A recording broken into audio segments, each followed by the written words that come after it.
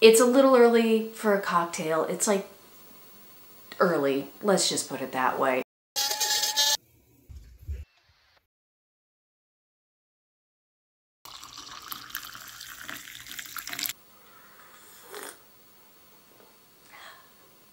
Good morning. How we doing, friends?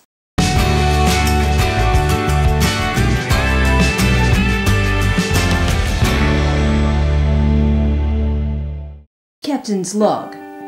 Quarantine. Day 12. The planet seems to have fallen into some sort of temporal disturbance. The days stretch out like they're weeks, and the weeks feel like years.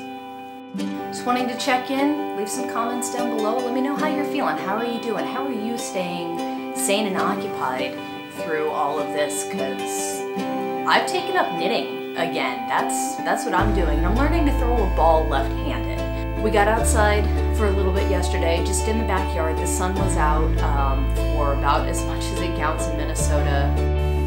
Wear your chicken boots because your backyard's a giant bog. We are being asked to sit down and do nothing. Sit back, have some coffee, pet your dog, That's incredibly important. pet your other dog. Sing to your bird. Stay the home. Give your lizard a bath.